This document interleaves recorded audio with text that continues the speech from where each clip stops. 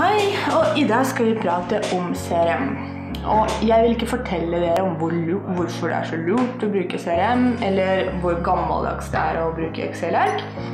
Det jeg vil snakke om i dag, er eh, hvorfor de ansatte ikke gidder å bruke CRM-systemer. Hvorfor vil ikke selgerne bruke CRM-systemet som du har brukt så mye penger på? Jo, en av hovedgrunnene er fordi de ikke kan det godt nok. Og løsningen kan være å innføre eksamen. Nettopp for å være sikker på at alle kan det godt nok, og kan gjøre de vanlige operasjonene, sånn type registrere nye kunder, registrere oppgaver, automatisk uten å tenke på det. Den andre grunnen er ehm, at det ikke finnes tydelige krav fra ledelsen. Tenk deg, En selger har et godt system i et Excel-ark i Outlook, og det har funka i alle år. Hvorfor skal han eller hun ta i bruk noe helt nytt? Selv om det er veldig moderne. Og løsningen på det kan være å legge inn alle mål, budsjett, antall nye møter, antall sendte tilbud.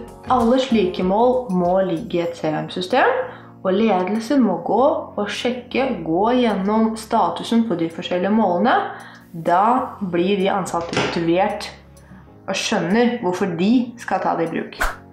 Det tredje kjente problemet er at eh, CRM-løsningen er så fjern fra selgers virkelighet at selv om de har lyst til å legge inn eh, data i CRM-en, så skjønner de ikke hvilke felt de skal legge i, hvilke felt som skal brukes. da. Eh, og hva som kommer til å skje etter at dataene er lagt inn. Det har vi også hørt noen ganger. Prøv å involvere noen av selgerne Eh, i prosessen før løsningen er implementert, ikke etter.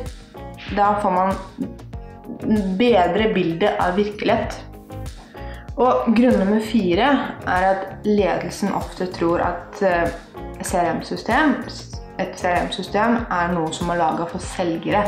En slags kundedatabase hvor man kan dele kundeinformasjon, opprette oppgaver, tilordne oppgaver til hverandre. Det er ikke noe som ledelsen skal bruke. Men det er jo helt feil. Et CRM-system er ikke kundedatabase. Det er CRM er laga til å skape mersalg og til å gi bedre resultater. Så på bakgrunn av de diagrammene, tallene, rapportene som et CRM-system kan generere, kan ledelsen ta riktige strategiske avgjørelser. En kjapp oppsummering av de fire punktene som vi har snakket om nå i dag. Punkt nummer én. Innfør eksamen etter at dere har implementert CRM-system. Alle selgerne skal kunne gjøre de vanlige operasjonene i et CRM-system helt automatisk. Punkt nummer to. Legg inn selgerens mål i CRM-systemet. Og på hver eh, mandagsmøte, onsdagsmøte eller jeg vet ikke når dere møtes, gå gjennom de tallene som ligger i CRM-en. Så det motiverer de ansatte. Da skjønner de mer hvorfor de skal ta det i bruk. Punkt nummer tre.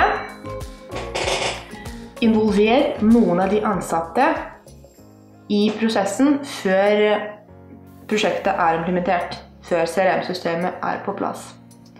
Og punkt nummer fire er at ledelsen bør skjønne at dette systemet er ikke laga kun for selgerne.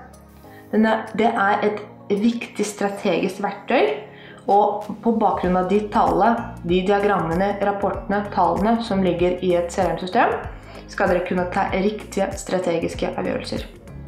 Takk for at du tok deg tid til å se på denne videoen, og jeg kommer til å skrive et blogginnlegg om CRM på bloggen til AGS IT-partner, så du kan lese mer der.